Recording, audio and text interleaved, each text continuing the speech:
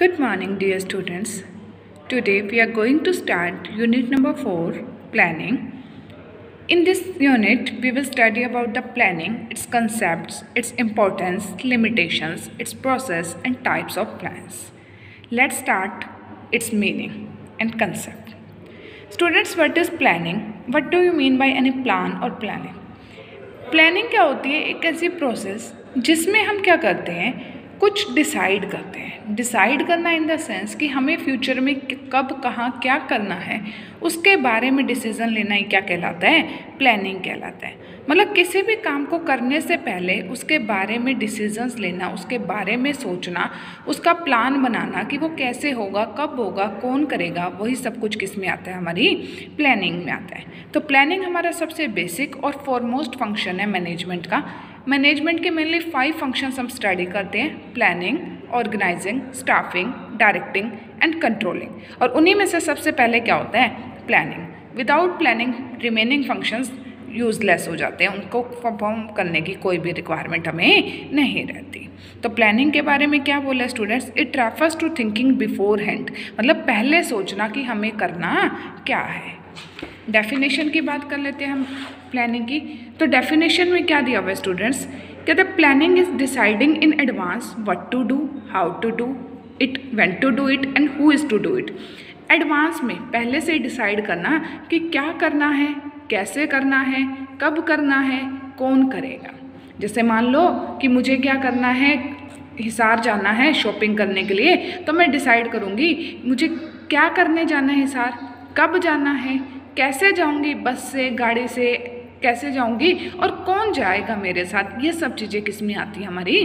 Planning में आ जाती है। तो प्लानिंग क्या होगी? Deciding in advance what is to be done कि क्या करना है उसके बारे में एडवांस में डिसाइड करना उसके बाद स्टूडेंट्स फीचर्स की बात करें प्लानिंग के तो फीचर्स में क्या दिया हुआ है हमें सबसे पहले?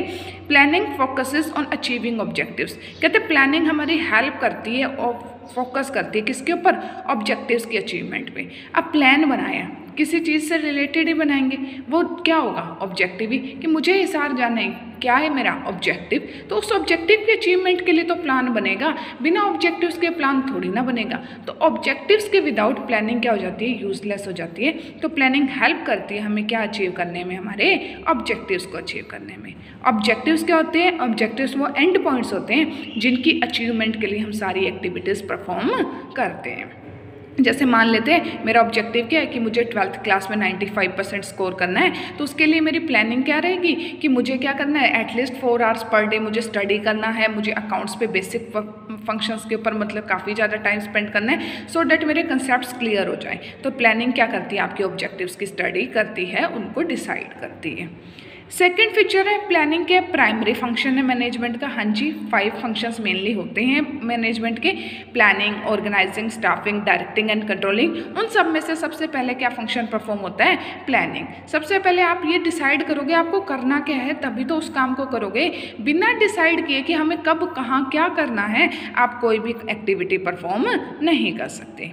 नेक्स्ट करेक्टरिस्टिक है प्लानिंग इज़ परवेसिव परवेसिव का मतलब होता है हर जगह यूनिवर्सल प्लानिंग क्या है? कहते है चाहे वो बिज़नेस एरिया हो या नॉन बिज़नेस एरियाज़ हो, हर एरिया में प्लानिंग क्या होती है? यूज़फुल होती है यूज़ की जाती है. चाहे हम घर की बात करें, हमारे स्टडी की बात करें बिज़नेस एरिया की बात करें, हर एरिया में प्लानिंग क्या होती है? यूज़ की जाती है. उसके साथ साथ हमारी प्लानिंग और कहाँ पर यूज़ होती है? कहता है हर लेवल पर ये नहीं है सिर्फ़ टॉप लेवल मैनेजमेंट यूज़ करती है मिडल लेवल नहीं करती लो लेवल नहीं करती. हर लेवल की मैनेजमेंट पे प्लानिंग का क्या होता है? यूज़ होता है। हो सकता है टॉप लेवल पे थोड़ा ज़्यादा होता और मिडल पे थोड़ा कम और लो पे उससे कम, लेकिन प्लानिंग का यूज़ हर लेवल ऑफ़ मैनेजमेंट पे होता है।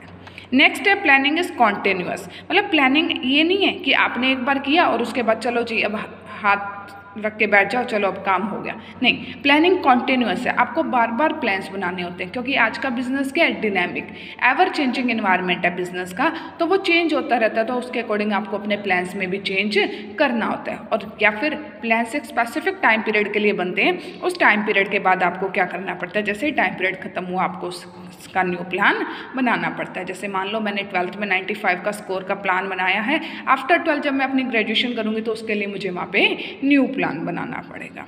Next planning is futuristic futuristic यानी प्लानिंग किससे रिलेटेड होती है? फ्यूचर से। What is to be done क्या करना है? कैसे करना है? कब करना है? कौन करेगा? ये सारे क्वेश्चन किससे रिलेटेड है? फ्यूचर से।